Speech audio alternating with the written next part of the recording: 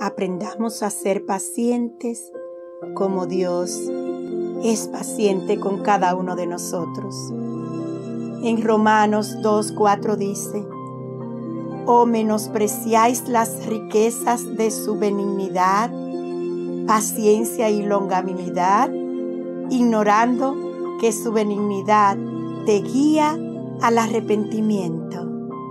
Esto es una pregunta.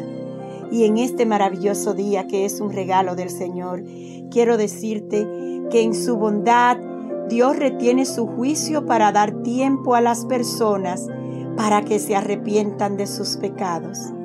Es posible confundir la paciencia de Dios hacia nosotros y llegar a pensar que Él aprueba nuestra manera equivocada de vivir. Es difícil examinarnos a nosotros mismos y más difícil aún acercarnos a Dios para que nos diga qué debemos cambiar. Sin embargo, como cristianos, debemos pedirle a Dios que nos señale nuestros pecados para que nos arrepintamos y podamos pedirle perdón. Es más probable que nos sintamos sorprendidos por la paciencia que Dios tiene con los demás que humildes por la paciencia que tiene con nosotros.